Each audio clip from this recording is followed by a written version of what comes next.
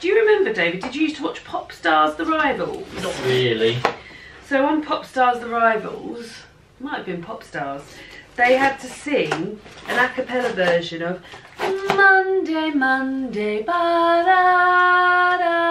Whenever it's any day of the week, I sing Wednesday, Wednesday, Tuesday, Tuesday. Oh, well, this is pretty.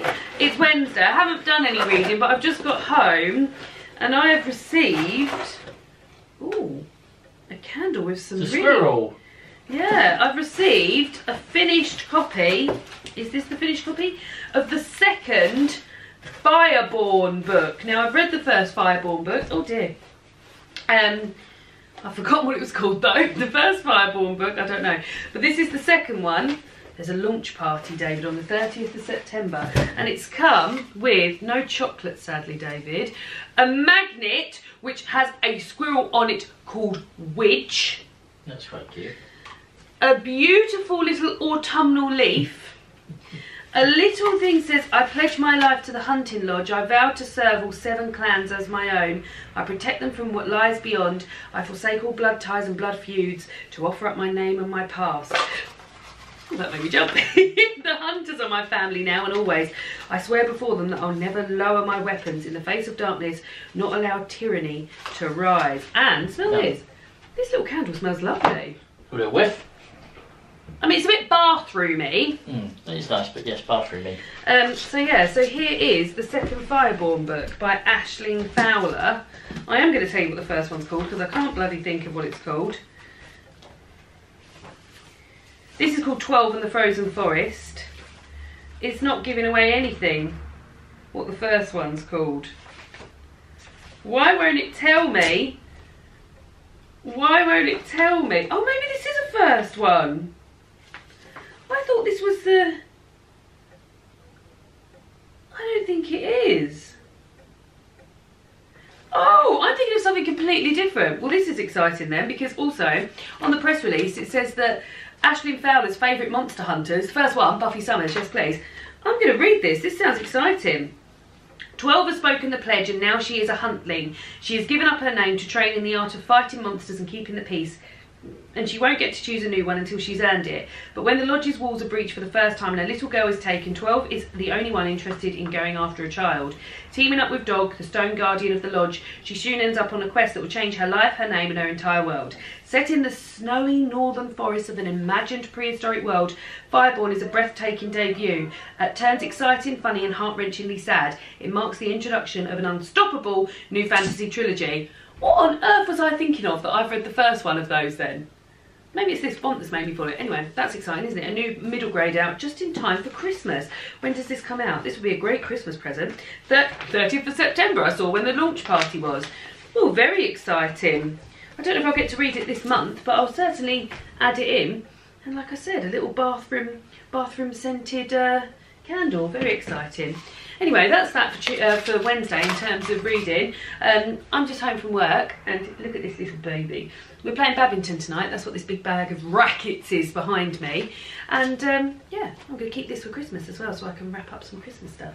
What do you think, Minnie? What do you think? What do you think? Little to no interest, I would say. Um, yeah, happy Wednesday. Welcome to the vlog. Welcome to the last vlog of September, the last reading vlog week of September. Oh, hi. That's far too high. Let's get a bit down, get deeper and down, get down, get deeper and down. Saturday night Spice Girls album track. It's not quite down enough. There we go. There we go. Um, it's Thursday. I'm all done up in my blue, blue top, blue nails, blue eyeliner, little blue earrings because I'm about to film. It's going to take me forever. The blue blue books on my shelves. These span. I've got more blue books than I've got anything else. Blue goes from here da, da, da, all the way back down to here, so it's almost like a whole shelf thing. So when I film these, I've made a, a few of these, um, but when I film these ones, I like to wear the colour that I'm going to be talking about. I thought it would give me an opportunity to put this one of my favourite dresses of all time on. Um, it's Thursday. I was working from home today and I've finished work for the day. Um, no reading has been done today. Because of the aforementioned working from home. However, David's out tonight with um, some work pals for his birthday drinks, um, so I probably will crack on with Catch the Rabbit. I've got less than 100 pages of Catch the Rabbit left. There's a chance I could finish it. I am looking forward to having a bath. And I'm also um, very much invested in uh, watching Neighbours Twice a Day by Josh Widdicombe, um, the audiobook of that. Um, and yeah, I think um, there's a, well, I've got four hours, 17 minutes of that left, so that's probably not gonna be finished. Um, but I'm really enjoying it. It's very niche, very niche sort of like if you are Josh's age, and I think I'm just a little bit younger than Josh, um, and you used to watch a lot of telly in the 90s, as I did, um, then you'll really enjoy it. And it's sort of like, I, I enjoy these memoirs told in like an unusual way. So like a memoir told through telly. I mean, the majority of the book is about telly. Anyway, a book arrived in the post today and also I thought I would take this opportunity to show you my paper gang because I know you guys love stationery as much as I do so I thought I'd show you that as well. This is actually August paper gang. I don't know if you know but in the UK due to Brexit, eye roll, the eye roll of someone who voted against Brexit and is now living with the consequences uh, a mere few years after it happened. Um, there's a shortage of uh, lorry drivers in the country, which means that there's a shortage of a lot of stuff in the country, um, including which my stationery. I mean, not the most important thing. Should we open this one first, actually? Um, so yeah, so that has taken this. Oh, that's the second month in a row that's done. So so long has this taken. I've actually. Oh, that is so annoying. That's so I've pulled off those, or both ones, and then I'm gonna do it. Um, the September box has arrived before the August box. So yeah, I subscribe to Paper Gang. This looks very nice actually this month. Um, I've got it for friends in the past for Christmas and birthdays and stuff and I just thought I'd like some. So yeah, here we are. So this month it is this sort of pattern. I like these because these are very helpful for when my niece comes. Oh no, there's no colouring on this one. Oh, that's a shame. Right, who is the artist? Mouse House. Oh, it looks like it's going to be very nice. Very sort of muted tones, but it looks nice. Right, let's open this little What have we got? Oh, nice. Oh, nice pens. Oh, it looks nice. So we've got a planner. This is a very nice planner. All of these planners, so this has actually got less pages in than the other planners. They are getting cheekier and cheekier. This is um, a planner and in it every page says today's objectives to do timetable key tasks um, notes and doodles um, with this lovely that is lovely. Now I don't know whether to give this one to my mum. Maybe she'd prefer this one than the one I had earmarked for her. Because occasionally sort of every sort of three or four months we get one of these planners and I can't get through them quick enough. Um, and the last one I've got is like a tie-dye one. I think my mum might enjoy this sort of like scape more. So I think I'll probably give her that instead. So well done. She's benefited. Then I've got these like little reading things that I always say oh they're really helpful. These little like stickies particularly uh, if you're revising or something. And I always think I'll use those when I'm reading for points that I want to tab and I never do. Two things so far that I'm not going to use. No that's not true. Some lovely cards lovely cards. Happy birthday Happy B-Day, these are gorgeous. Choose Happy with really, really, really nice envelopes that go with them. I don't know if you saw those. So those, those are all lovely. Then some really nice looking pens. I'm going to be banging to these pens like, oh, they're, oh, they're felt tips. So maybe I won't be as banging to them as I thought. But I'll still use them. They'll come in very handy. I, I wrap everything. It's actually David's birthday this weekend. And I wrap everything in brown paper and decorate the brown paper. So I will use these to decorate the brown paper.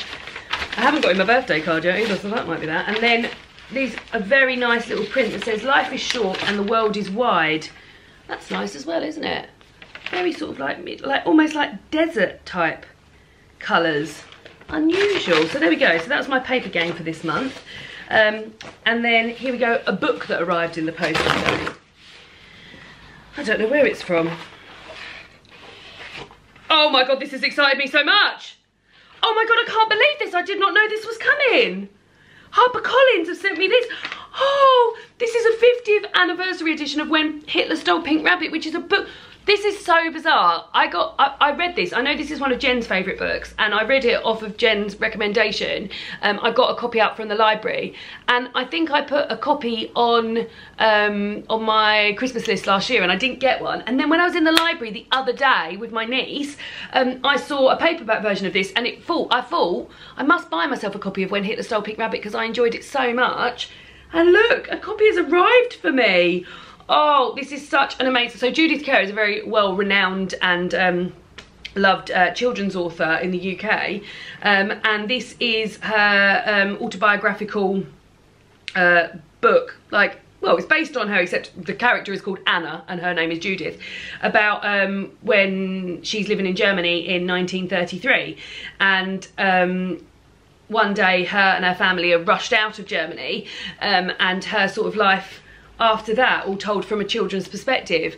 It is so beautiful and cozy and sort of like warming in a way that a child having to evacuate her home country um, so that she, her and her family don't get killed by a world leader shouldn't be, but it is. Oh, this is just so beautiful. Oh my God, and underneath it's light blue and it's got this gold, it's got Paris in gold. Oh God, it's gorgeous. That is absolutely beautiful. Oh, that's really, really, really made my day, that has. Oh God, I just sort of want to drop everything and read this, but I can't. I've got book club books coming out my ear, ear rolls. But yeah, oh God, that's made my day. That's really cheered me. So there we go, that can go up there. In my sort of hopeful, will I get to this this month pile, but maybe I'll get to it next month. Oh, lovely. I might read it in November, actually, as a sort of birthday treat. Um, so yeah, there we go. Anyway, I better um, tidy up this mess and uh, get filming my blue books. But yeah, I'll let you know if I finish any of my books by the end of the day. I will, I promise. Happy weekend, happy Friday. Friday, friends.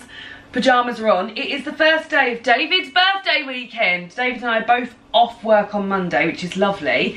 Um, and tonight for birthday weekend, because I like to, David and I really like to extend our birthdays. So tonight is telly night. We've already watched Taskmaster. We've got RuPaul's Drag Race UK to watch, Gogglebox, and then there is a Graham Norton James Bond special on later as well. So that is the plans for this evening before we go into tomorrow where we're doing a few celebrations with my family in the evening. Um, but I just wanted to check in to let you know, just had a lovely bath with a lovely bath bomb, a little moo cow that was all like rainbow coloured. And I finished Catch the Rabbit by Lana Bastašić. Um, I was reading this, I mean, I got sent the proof of this um, earlier this year. It came out in May earlier this year. Um, and um, I was reading this as part of the Reading Women Challenge. This was um, prompt two, I believe, which is uh, a read a, a book from an Eastern European author in translation translation and this is from uh, this is from Lana, uh, Lana Bastašić who uh, was born in the former Yugoslavia and translated by the author. I didn't love it. I gave it two stars and I'll tell you for why. On here, and I promise this didn't influence my decision, although it's spread right across the front of the page, but I, I can see why this is the case. Lewis Carroll meets Elena Ferrante in a balkanized wonderland. Um, so this is a book about two um, sort of former school friends who um, had a very sort of like sort of power play relationship as children and a friendship that I wouldn't probably describe as a friendship. It just seemed a bit bizarre. And the friendship very much reminded me of the friendship in um, My Brilliant Friend by Elena Ferrante which is a hugely popular book and a book that I do not like um, and I've made a video about it when I read it and I said I did like it. Whew she got some backlash off the back of that. So yeah, that's probably part of the reason I didn't like this book because there were parts of it when I was reading it and I was like, oh my God, that's really beautifully written and that really, that's really beautifully brought across. But yeah, I think it was too much like My Brilliant Friend, which I didn't enjoy. Um, and also I think I struggle with books where I just don't like anyone. It used to be the case where um, when I was reading a book, if I didn't get on with any of the characters, that didn't always impact on my enjoyment of the book. But definitely as I've got older, um, or, or, maybe more settled into my reading, I need to sort of at least be enjoying sort of one person in the book, and that was not the case for any of this. So that's that, I finished it, I gave it two stars in the bath. Now I'm out of the bath, David's about to get into the bath, and I'm making for dinner out of David's Twisted a Cookbook, Um, this is bold, unserious, delicious food for every occasion, um, and it is like it's it's a very beautifully pulled together cookbook. Actually, they've got some really really nice cool stuff in here. Baked tartiflette gnocchi. There's a meat-free section at the beginning, I believe. Meat-free month. Oh no, maybe it's after occasions. Um, all sorts. And tonight we're having Philippe Dubois. I don't know who he is. Philippe Dubois was an unassuming and decidedly un-French calf in Birmingham, England that specialised in progressive baguette fillings. We like baguettes. And I went to the post office earlier and on the way back I stopped at the co-op and bought this massive baguette. So we're going to have chicken tikka baguette, but instead of using chicken, because oh, I'm a vegetarian, we're going to use, and if you haven't tried this yet as a vegetarian or even as a meat eater, I would highly, highly recommend, oh God, it's all wet. You get your mitts on, some What the Cluck. I'm just having a look to check that this hasn't gone out of date because it's been a while since I, what's the date on the old What the, there is no date on the What the Cluck. Who knows what the date is? I'm sure it'll be fine. David, they don't have any um, expiry dates on the What the Cluck. Lasts forever. Well, I hope, I know it doesn't will last forever. I'm sure it will be fine. I only got it in the shopping on Monday.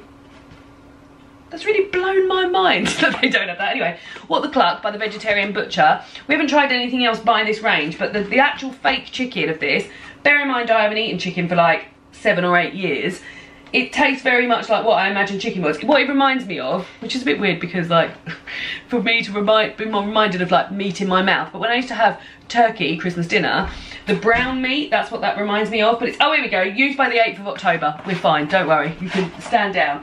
Um, so yeah, so I'm gonna make the chicken tikka baguette um, gear that goes around it and then have it with this. So that's on the menu for tonight. I'm gonna get on with that. Oh, I've left my phone in the other room. I think I'm going to listen to, David and I have both been quite enjoying listening to um, the Josh Widdicombe book together. So I'm going to finish off the Phil Wang book, um, which I mentioned last time. He, Phil Wang is a comedian, um, Malaysian, Chinese, English comedian.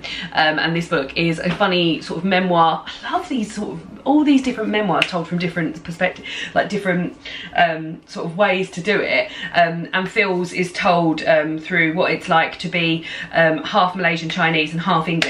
Um, and yeah, and we've now just got onto the section. So it's been done in all sorts of different sections like love, um, uh, food, uh, culture. I'm on home now, um, and yeah, I think I'm going to finish that as it's 43 minutes I've got left. Hmm, maybe maybe I won't finish it, but like that's what I'm going to do while I'm making Philip Dubois chicken tikka baguettes, but actually it's not chicken tikka because I've got a korma curry paste, a Jamie Oliver korma curry paste that I thought I'd use tonight, just to save a bit of time, bear in mind it's 20 to 8, um, rather than make the paste. So that'll be nice. So yeah, go and put this book um, away and crack on with my cooking. Hope you're alright. Probably see you tomorrow. Bye. Oh, Saturday, shuffling in and um, we're going to my sister's tonight for David and my mum's birthday. I'm just wrapping up. This is what my mum and dad have got David for his birthday. Good, isn't it? I had to buy it and then wrap it up. Mario, Super Mario 3D World plus Bowser's Fury for the Switch. So, but I thought I'd just come in and check in, not just to tell you about Bowser's Fury, but to tell you I finished Phil Wang's autobiography memoir. What is the difference between an autobiography and a memoir? I genuinely do not know. Um, I finished it this morning, and um, yeah, whilst um, there was sort of like element, because Phil Wang is a comedian. I've told you many times what it's about, so I'm not going to go into detail about it. Phil Wang is a comedian, but what I will say about this is that it wasn't sort of like heavy on the jokes, which I didn't mind because I actually found the subject matter of being from two places um, very interesting. But yeah, I think if you were going in thinking, oh, British comedian, this is going to be a lol fest, then maybe you'd be a bit disappointed. However, the front cover doesn't really scream lol fest, does it? It's quite a solemn photo of uh, Phil. But yeah, so I finished that. And then I am hanging on to a credit on Audible because David and I are going on holiday soon before my next credit comes in. And we want to listen to the audiobook of another British comedian Bob Mortimer. We want to listen to that. So I've hung on to that. So I went onto my Libby app to see first of all if my Bob Mortimer autobiography had come in um, but it hadn't. It's got six weeks on so I think I'm gonna have to buy it on um, I'm gonna have to buy it on Audible So I thought, well, what's available? And um, I think, well, the two books I've downloaded from Libby are both rereads of mine. And the first one is um, Binti by Nnedi Okorafor, which I read. It's a novella. It's only two and a half hours long. It's a sci-fi novella, and if I remember rightly, it's about her going to a new, uh, like a sort of space school or like a school in space. Um, Binti herself, and then I believe there's something to do with like I think it's to do with saving the race of her people. Um, don't come in here, David. I'm wrapping things. Um, so yeah, so I downloaded that and that's what I started listening to. But I've also downloaded Girl, Woman, Other by Bernardine Evaristo, which is a book I read last year. I read it in March last year because I remember reading it when we were on holiday in Center Parcs before the pandemic started. And I really, really enjoyed it and I always said I wanted to revisit it. So um, as that was there on Libby, I've um, downloaded that and I think maybe I'll start listening to that once I've listened to Binti. Anyway, I better write in Minnie's card to David. Happy birthday, Daddy. Love you. That's cute, isn't it? Um, and then I've got to wrap my mother's presents. I've got my mum a sweet apple candle, which I don't like the scent of, but she likes apple scent and she'll really like it also. She'll really like this. This is from TK Maxx, the home of candles. Um, like embossed glass jar. Isn't that nice? Um, I got a top from Joni, which is just a long sleeve stripy top with a little horseshoe on it. I've got a, uh, the sweet roasting tin. God, that hurt my arms even to lean over. And then I've got a planner. Um, mm, and then I'm going to, I think we're going to do a Jamie Oliver cookery lesson online together. I think it's the last thing I'm going to do. So I need to make her a little token for that. So yeah, that's that. I think I'm to pop my audiobook back on, writing all my cards and wrap my presents. And then I think we might be heading around to my sister's. I feel like I might be a bit hot in this top though. Got this top on. I mean, it's September. I'd like to be wearing, this is a light long sleeve top. I'd like to be wearing long sleeve tops. Um, but yeah, let's see if I stay hot in it. I really like this sort of ruching across the front as well. Anyway, I'm gonna crack on. I'll see you all soon. Bye.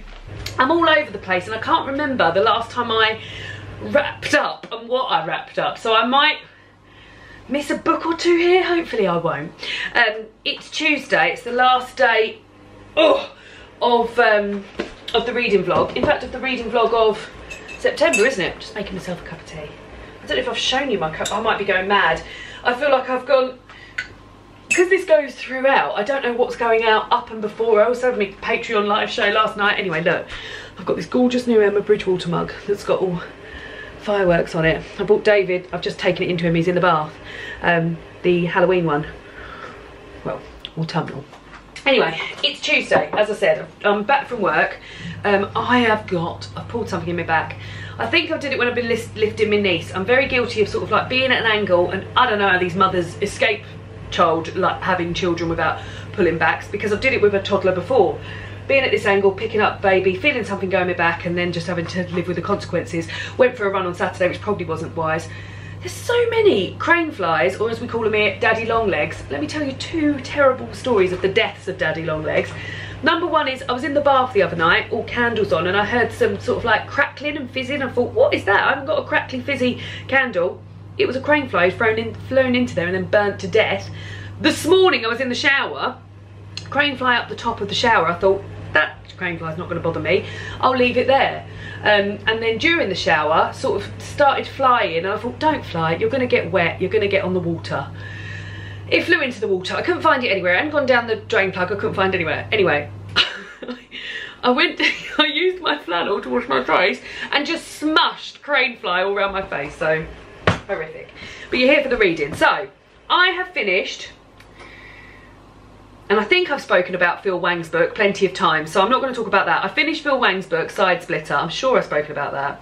Um, I've also today, no, yesterday I finished Felix Ever After by Kacen Callender. I've actually got that book somewhere. That was from my Patreon book club. Very, very enjoyable book. I read that very quickly in sort of two days. I gave it three to three to three and a half stars, 3.25 stars, people might say. YA book about Felix who um, is a trans uh, male uh, teenager um, and sort of coming to terms with um, his identity and also sort of not wanting to commit to a male um, sort of label. It's all a lot in there about labels and identity, but also stuff in there about family and about wealth and about friendship and about love. Um, and yeah, very, very interesting chat that we had last night, so I enjoyed that very much. Then today I've finished Binti, which didn't take me very long at all. Uh, Binti is a novella, a sci-fi novella um, written by Nnedi Okorafor, which I've read before, but this time I saw it was available in my library, um, literally ready to go. And I thought, well, I'll listen to the audiobook of that. I remember the first time around when I read it, really, really enjoying it. But this time around, listening to it, and it's just over two hours long, so it is not a long thing at all. And I think maybe this lends to what I'm about to say. The pacing was just mental, like literally nothing's happening. She's going to university. So it's about a, a girl, a human girl, um, going to university at another planet called the Uz, Uzma planet, I think, Uzma University, and um, sort of being attacked by another race of. Um, well, I believe aliens. Um, and yeah, just sort of like nothing's happening, loads is happening, nothing's happening, loads is happening. And yeah, it just, yeah, I just, I, I, felt a bit confused by the whole thing, to be honest. Um, and then I just started listening to Girl, Woman, Other by Bernardine Evaristo, which was also available on my library app. Um, and uh, yeah, I read that last year. Actually, in March last year, it was one of the last books I read before pandemic hit. Because I remember I was reading it when we were in um, Center Parcs, and that was where we were the week before the pandemic hit. Um, and yeah, I always said I wanted to revisit it as a audiobook and uh, it was available there. So I thought, let's do it. So I literally have just started listening to that. I'm 1% in. Um, but also I started, speaking of Bernardine Evaristo, she does the foreword to this book. Um, this is Black Teacher by Beryl Gilroy. This is a um, non-fiction book. Um, it's a republished book. So this is Beryl's memoir about um, being a black teacher in um, London um, in the 60s. Um, and it was first published in 1976, reprinted again in 1994, and then this is the new edition with the foreword by Bernardine Evaristo. And yeah, I mean, I'm only two chapters in, but sort of like she's a head teacher and what it's like to sort of be black and be a head teacher in the 60s uh, in 1969 and I'm, I'm enjoying it so far. I literally have not lent much time to it. I read a few pages on my lunch today and I read a little bit before I went to bed last night so I'll be reading more of that. Um, it's Tuesday as I said, tonight it is, oh I've put them over there, let me, come, let me go and get them. It's bake off night and it's biscuit week. And I was going to make some biscuits and I thought fuck it I've got to edit this when I get home. I want to have a bath I've got to wash my hair. So I bought these in Sainsbury's. Two seconds. A border classic recipe sharing pack of biscuits. In this packet of biscuits there are light and chocolatey Viennese whirls, sweet memories butterscotch crunch, light and buttery shortbread rings, chocolate oat crumbles, buttery sultana melts and divinely chocolate cookies. That is an amazing, the only thing I could ask for a little bit is maybe a ginger biscuit in there, but yeah. So I bought those for me and David to enjoy.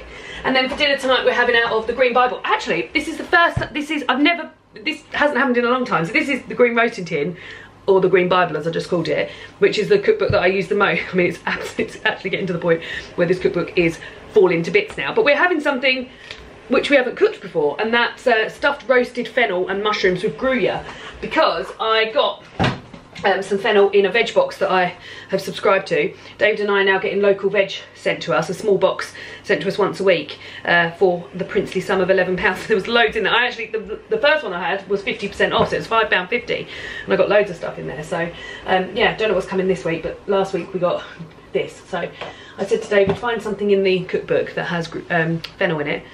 And he did. So yeah, I'm about to cook that and listen to Girl, Woman, Other.